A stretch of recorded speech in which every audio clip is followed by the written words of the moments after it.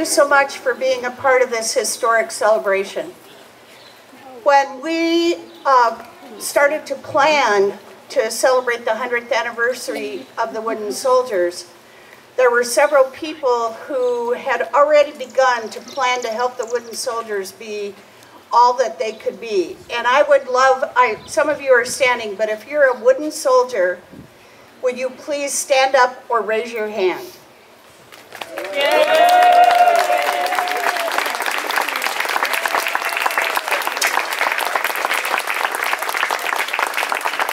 Thank you. We're grateful to Leah Inman and Tabitha Bailey, people on the staff who were not wooden soldiers, who took over as advisors for a couple years. We're exceedingly grateful to celebrate the 100th anniversary because we value history here. But we're also grateful to a few people for whom um, we can never say enough thanks. The first is uh, alum and this year's Wooden Soldier Advisor, Jan Gould Martin.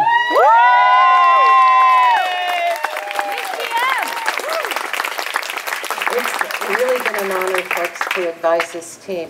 Uh, when I was here before and also when I come back, these are awesome young women. They're scholars, they're athletes, they are uh, just so rich in their experiences, and, and they've stayed a week. They've stayed a week to perform for you. So this is a gift from their parents, um, from the school, and, and certainly from them. And it's, it's been my honor to stay and to help them. So thank you.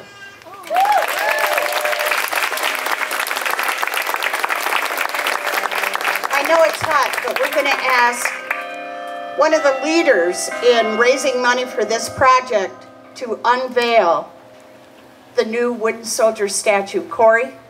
Corey Kelly.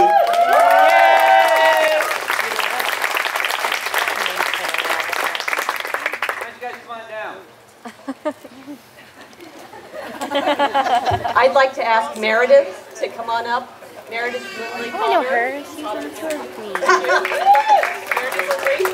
She was the one who began the fundraising, and I was fortunate enough to meet her a few years ago when I moved back to town. And we took it from there. A nice friendship was formed, and with the help of the girls on the team and with the help of so many alumni, we were able to make this happen.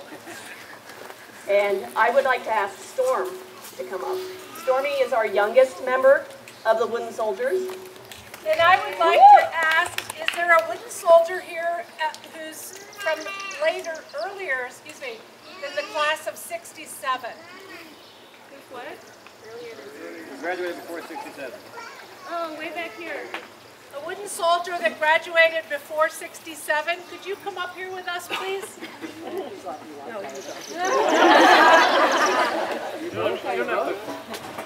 All right, Sandra from class of 1958. What we'd like you to do,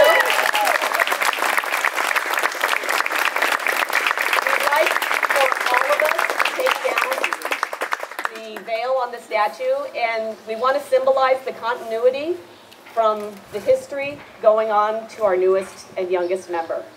So, ladies, let's do it.